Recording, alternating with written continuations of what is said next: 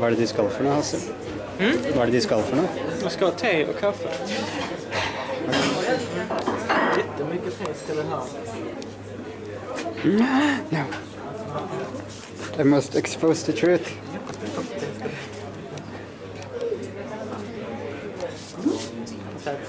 Truth about furries, they love tea and coffee.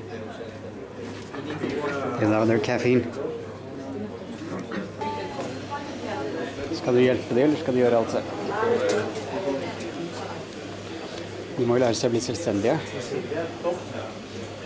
My income is mostly spent on my rent. Mm. That's what I focus on. But if you get a fursuit, then you don't need a place to live because like it's snug and warm inside the fursuit. You can just stay inside of that. Well, it, it it is during the summer, so if you can avoid the rain, the Yeah, rainy so all, seasons. all you need is an umbrella and a fursuit. so then you're pretty much set. You don't need a place to live. Pretty much.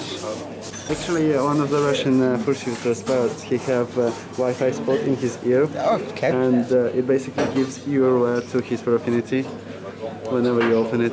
Okay, that's pretty when you awesome. connect. That's like dope. So That's very cool. Super fur. Everyone wants internet connection.